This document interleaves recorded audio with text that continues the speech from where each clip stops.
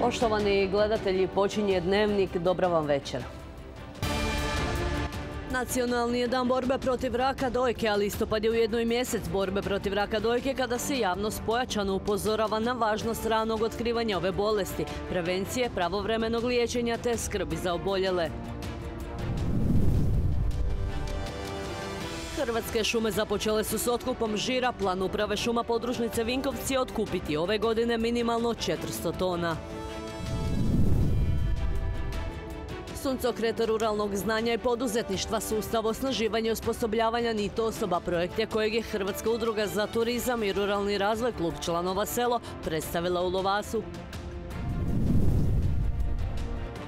Povodom obilježavanja dječjeg tjedna društvo Naša djeca Vinkovci organiziralo je dječju smotru na kojoj su najmlađi nastupili s plesovima, pjesmama i recitacijama.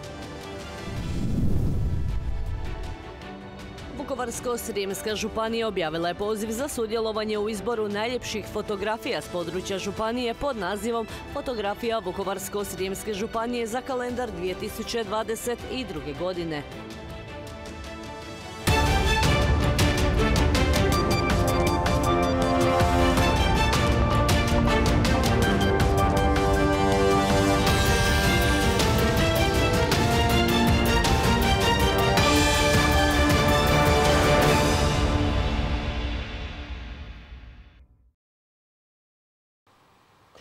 Nacionalni je dan borbe protiv raka dojke, a listopad je ujedno i mjesec borbe protiv raka dojke kada se javnost pojačano upozorava na važnost ranog otkrivanja raka dojke, prevencije te bolesti, pravovremenog liječenja te skrbi za oboljele.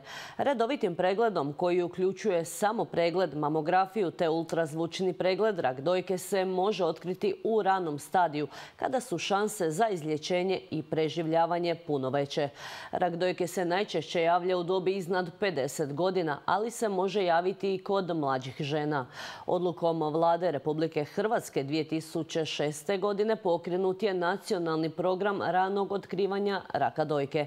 Prema posljednjim objavljenim podacima u Hrvatskoj je u 2018. godini zabilježeno 2845 slučajeva raka dojke, a od ove zločudne bolesti umrle su u 2020. godini 720 i dvije žene.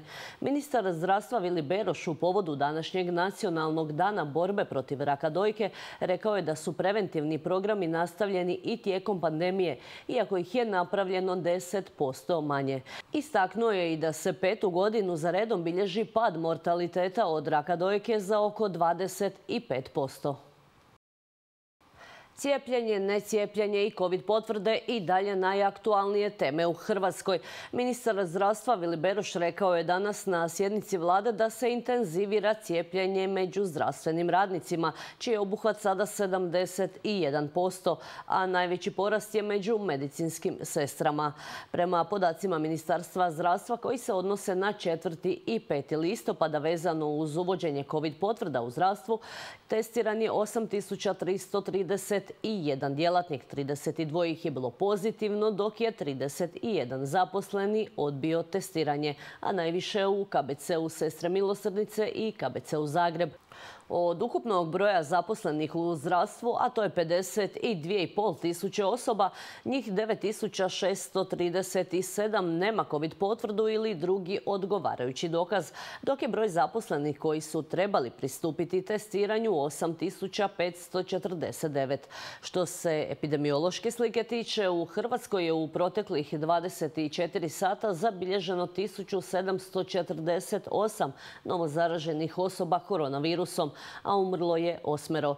U Vukovarsko-srijemskoj županiji zabilježena su 54 nova slučaja zaraze.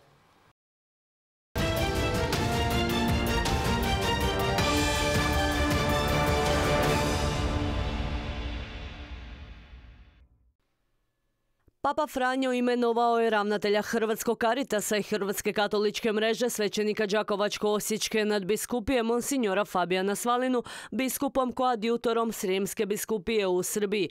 Objava imenovanja koje su nazočili brojni crkveni velikodostojnici i predstavnici održana je danas u središtu Hrvatske biskupske konferencije u Zagrebu.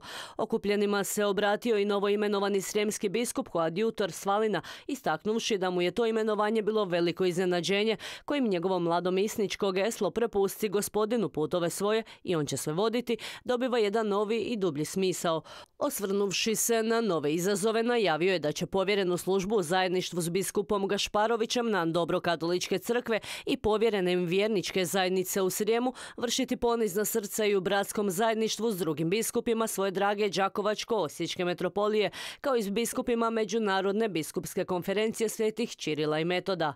Nadbiskup Hranić također je monsignoru od srca čestitao na imenovanju ime monsinjora Srakića, pomoćnog biskupa Ivana Čurića, svih svećenika, redovnika, redovnica, vjeroučitelja te svih ostalih kristovih vjernika lajka Đakovačko-Osječke nadbiskupije, izvijestila informativna katolička agencija.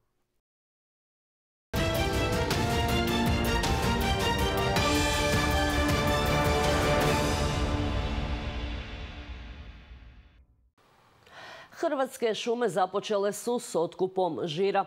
Nakon što prošle godine uprava šuma podružnica Vinkovci nije otkupila niti kilogram žira hrasta lužnjaka, plan je ove godine otkupiti minimalno 400 tona za obnavljanje sastojna na površini od 450 hektara. S obzirom na to da planovi uprave ovise o urodu kvalitetnog žira iz Vinkovačke uprave šuma pozivaju građane da iskoriste ovu mogućnost u svrhu poboljšanja kućnog budžeta. Cijena za kilogram žira iznosi 9 kuna. Nakon vremena sušnog razdoblja stigla je prava jesenska kiša. Likuju ratari, ali i šumari. Radujemo se ove promjene vremena, upravo s toga e, e, smatramo da ćemo recimo 10. 10. 10. ući u intenzivan otkup, jer e, očekujemo da taj pravi žir će otpasti. U tom tehnološkom razdoblju, znači prvo otpada onaj pušljivi i onaj žir koji nama nije zanimljiv.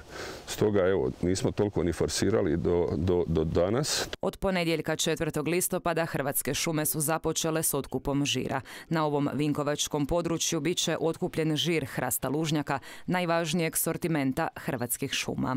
Ovisimo o, e, ovisimo o njemu, jer o, njemu ovisi budućnost e, oplodnih, e, oplodnih sjeća, to jest oplodnje budućih sastojna. Znači, u slučaju da nemamo žira i mi dolazimo u problem a s tim su se problemom u hrvatskim šumama podružnica Vinkovci susreli još prošle godine.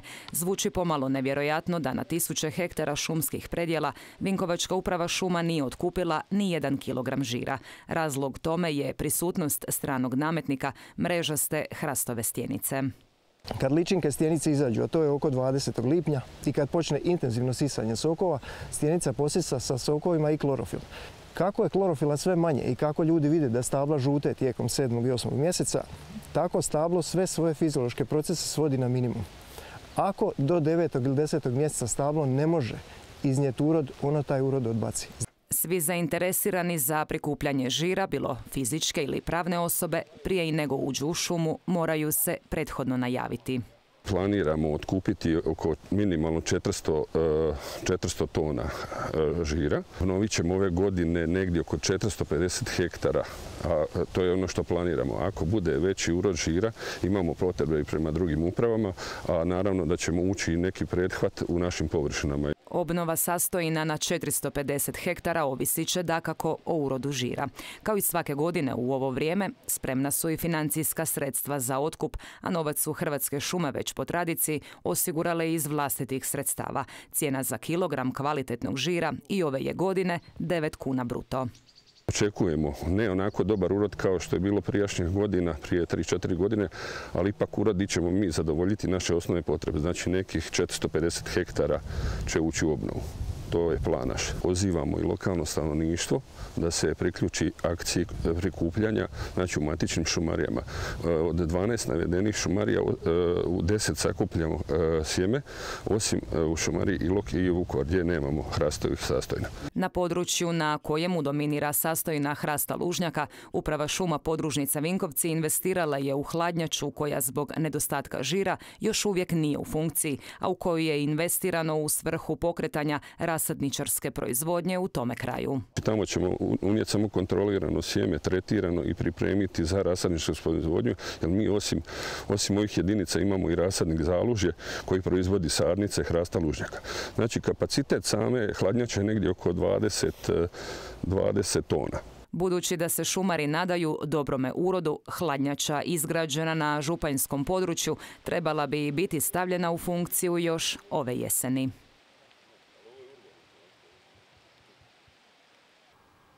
Još uvijek nije pronađen način suzbijanja mrežaste hrastove stjenice stranog nametnika koji je šumama donio brojne probleme, među ostalim smanjen urod žira. Ustvrdio je na sjednici Županijske skupštine pročelnik Upravnog odjela za poljoprivredu Andrija Matić, predstavljajući informacije o stanju šumarstva te stanju u lovstvu i ribolovnim područjima u Vukovarsko-Srijemskoj županiji. Određeni problemi unazad nekoliko godina nastali su i na području lovnog gospodarstva, no ulaganjem kroz projekte, kaže pročelnik Matić, obnovljen je lovno-gospodarski potencijal u šumama Spačvanskog bazena. Od ponedjeljka 4. listopada Hrvatske šume tradicionalno započinju s otkupom žira, čiji je urod zbog stranog nametnika mrežaste hrastove stjenice opasno doveden u pitanje. Ona je toliko sad intenzivna da u biti svaki pup i svaki plod koji je zametnut na vrijeme, nažalost, ošteti i žir ne donese, ne izađe kao zreo. Dakle, nemamo ga uopće. Već šestu godinu za redom i to je vrlo zabrinjavajuće. U brizi za šume koje bi mogle i trebale biti zlatna koka za razvoj ovoga kraja, upravni odjeli i drugi dionici bore se u spašavanju zdravlja naših pluća s ciljem potpunog suzbijanja ovog stranog nametnika koji aktivno jede klorofil lista, odnosno zbog njega dolazi do prijevremenog sušenja listova hrasta i drugih vrsta šumskog drveća. Naši kontakti sa znanstveno tijelima idu za tim da od Europe iskamčimo, imamo tako pravo da ipak koristimo se i nekim sredstvima koja su izvan nature 2000, da bi se ipak sačuvala sastojna, ali hoće li se vrlo uskoro naći rješenje ili ne, to je meni teško odgovoriti. Vijećnike Županijske skupštine upoznalo se i sa stanjem u lovstvu na istočnije županije. Nakon što su istekle 33 lovno-gospodarske osnove, lovačka društva i udruge prionule su na prikupljanje dokumentacije. Svi koji su participirali na natječaj nisu imali opterećenja u smislu protuzakonitih aktivnosti, kaže pročelnik Matić, što je istaknuo kako su od ukupno 53 zajednička lovišta dodijeljene nove 33 lovno-gospodarske osnove. No i u ovoj za Hrvatsku važnoj gospodarskoj grani unazad nekoliko godina izrodili su se određeni problemi. Poplava je uzrokovala pojavnost puža barnjaka, puž barnjak metilj, metilj se pojavila kao bolest neće divljači i jelena. Rađeno par projekata, išlo se onda sa tretmanom i liječenjem, rađen čak i projekt sa novom populacijom jelena u Spačanski bazen i tako. Da u pravilu ljudi misle lovu to što vide dva lovca u, u selu, dakle lov i zaštite iskoristavljanja divljača na županiji puno sadržajniji i puno odgovorniji posao. Ali Bogu hvala ima za ljubenika, pa i ljudi snose kako to znaju i hoće i mogu. U poplavi Županjske posavine stradalo je 258 jedinki srna i jelena. Zato je cilj obnove lovnog potencijala bio u roku od dvije godine uspostaviti vitalnu populaciju jelena koji će slobodno živjeti na prekograničnom području Spačvansko-Bosudskih šuma. To je i učinjeno još 2018. godine u prihvatilištu Šumarija Vrbanja i Strošnici kada su u veljači puštene 42 jedinke jelena. Lovstvo se smatra gospodarstvom, pa onda ono nije poput drugih stvari poticano kroz ruralni razvoj, kroz mirosa. Situacija nije sjajna ni u ribolovnom području, priznaje županijski pročelnik, a sve zbog, kako je rekao, međusobnog nerazumijevanja ribolovaca ribolovci Dunavskog kraja i Bosunsko-Savskog su u dvije organizacije i nisu u sporu, ali uvijek su u nekom nesporazumu nerazumijevanju. Idemo za tim da tu stvar pomirimo i da neke zemljske inicijative prihvatimo u smislu novog zajedništva i programskog postupanja. Evo čak je zadnja inicijativa zajednički flag ili ribarski lag, pa o tome se malo promišljalo, tako da može se dogoditi da će iduća sjednica skupštine doneti o tome odluku u smislu da se podupre zajednička inicijativa cijelog ribolovnog područja, svih aktera, to znači od ribolovaca, uzgatelja, restorana i svih koji se bave bilo kojim biznisom u vezi s ribom. I dalje smo kod poljoprivrede. Suncokret ruralnog znanja i poduzetništva, sustav osnaživanja i osposobljavanja NIT osoba. Naziv je projekta kojeg je Hrvatska udruga za turizam i ruralni razvoj klub članova selo predstavila u Lovasu. Projekt se provodi na području Hrvatskog zavoda za zapošljavanje regionalnih ureda Osijek i Split te područnog ureda Vukovar. Financijski je vrijedan milijun i 680 tisuća kuna, a traje 24 četiri mjeseca. Hrvatska udruga za turizam i ruralni razvoj klub članova selo potpisala je s Ministarstvom rada, mirovinskog sustava, obitelji i socijalne politike i Hrvatskog zavoda za zapošljavanje ugovor o dodjeli bespovratnih sredstava za projekte koji se financiraju iz inicijative za zapošljavanje mladih u financijskom razdoblju 2014-2020 za projekt Suncokret ruralnog znanja i poduzetništva, sustav osnaživanja i osposobljavanja nit osoba, operativni program učinkovitosti učinkoviti ljudski potencijali, Europski socijalni fond. Projekt je započeo, on je dakle od 7.7.21. je start, dan prije smo e, potpisali ugovor. E, sada je faza e, prezentacija, vizualizacija, komunikacija na terenu sa partnerima, sa institucijama, udrugama, jedinicama područne lokalne samouprave. Projekt se provodi na području Hrvatskog zavoda za zapošljavanje regionalnih ureda Osijek i Split, te područnog ureda Vukovar koji obuhvaća gradove Vukovar i Ilok, te sedam općina Bogdanovci, Borovo, Lovas, Negoslavci, Tompojevci, Tovarnik i Trpinja. Osobno mislim da će najviše biti u Splitsko-dalmatinskoj županiji zbog e, ipak širine, ipak ima puno otoka, zagore e, i slično, ali bismo voljeli kad bi bar u vašoj županiji bilo 25 e, tih mladih osoba. Mislim da to nije problem i pronaći i naravno raditi s njima, ne raditi samo reda radi, već da stvarno imaju konkretne koristi od toga. Kako se čulo, projekt ima tri glavna elementa koji se primarno odnose na sustav osnaživanja, mentoriranja, neformalnog i formalnog obrazovanja. Onda ćemo raditi edukacije kako će napisati životopis, kako će e, komunicirati sa potencijalnim e, poslodavcem. Imaćemo dosta i tih stručnih edukacija ako se odluče prema ruralnom turizmu ili nečemu drugom u ruralnom području, te će ih se usmjeriti kako da rade i budu uspješni u poslu. Svi će, kako je naglašeno, dobiti neko formalno obrazovanje. Dakle, u dogovoru sa ovlaštenom institucijom, e, ne znam, učilištima, visokim školama ili, ili nekim drugim ko može provoditi formalno obrazovanje, oni će, dakle, sukladno tim afinitetima proći taj dio.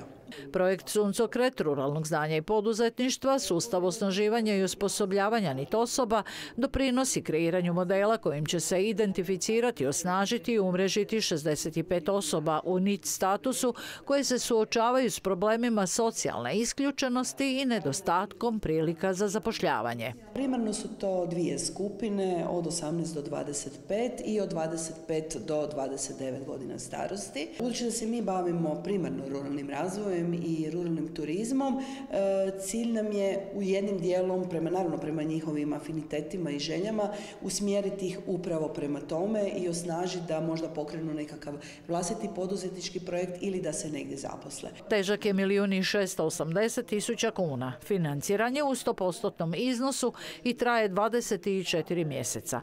Bespovratna sredstva osigurana su iz državnog proračuna Republike Hrvatske 8,11% i iz inicijative za zapošljavanje mladih 91,89%.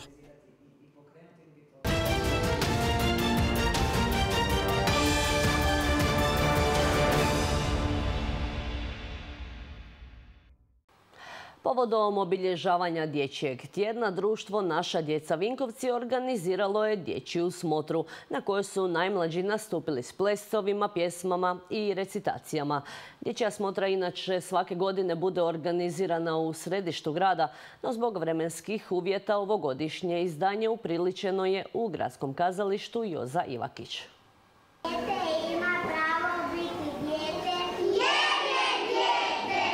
Dječji tjedan je tradicionalna godišnja akcija i aktivnost posvećena djeci koju društvo Naša djeca Vinkovci provodi već 25 godina s ciljem ukazivanja na dječja prava. U sklopu dječjeg tjedna se organiziraju različite aktivnosti za djecu i s djecom.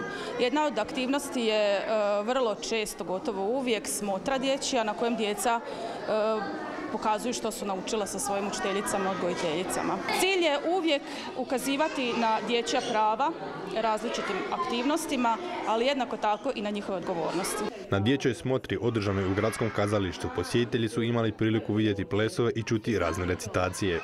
U dječjem tjednu sudjeluje ukupno 11 skupina, od kojih svaka broj oko 15 djece, a tema ovogodišnjeg dječjeg tjedna je zdravlje.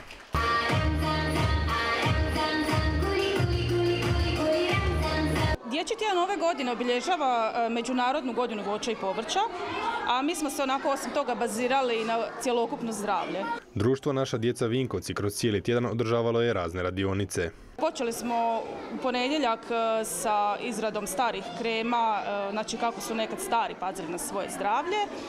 Zatim smo imali radionice voća, zdravi doručak jel, sa zdravim namirnicama. Također smo imali i radionicu razmišljajmo zdravo, znači da ukažemo koliko je važno e, mentalno zdravlje djece. Kroz radionice djecu se također učilo izraziti svoje mišljenje i stavove, ali isto tako i kako uvažavati tuđe. Dječji tjedan u Vinkovcima u subotu će završiti šetnjom roditelja i djece kroz grad kako bi se ukazalo na važnost kretanja djece. U povodu obilježavanja svog dana 11. studenog Vukovarsko-Srijemska županija na svojim je službenim stranicama objavila poziv za sudjelovanje u izboru najljepših fotografija s područja županije pod nazivom Fotografija Vukovarsko-Srijemske županije za kalendar 2022. godine. Cilj poziva je fotografijom prikazati ljepotu Vukovarsko-Srijemske županije u različitim godišnjim dobima, njenu bioraznolikost, parkove, znamenito i manifestacije i sve ono što će ju dodatno učiniti prepoznatljivom u javnosti. Poziv je otvoren do 31. listopada ove godine.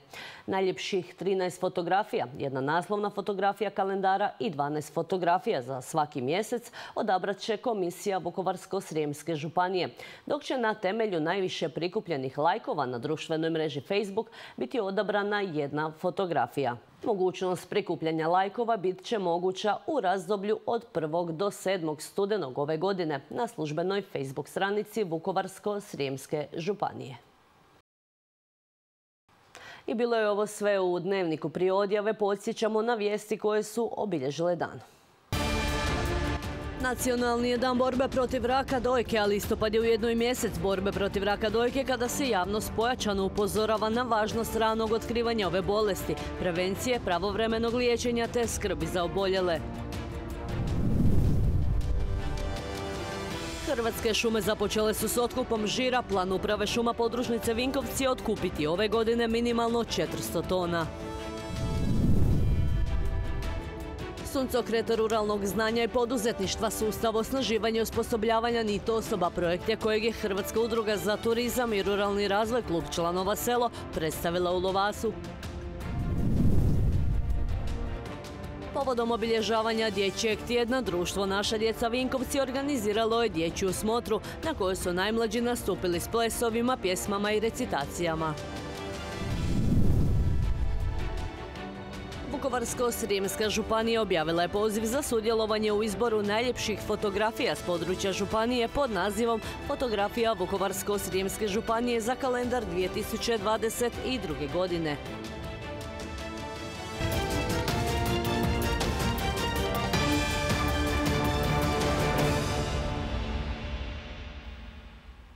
Toliko od nas za večeras. Hvala na pozornosti i doviđenja.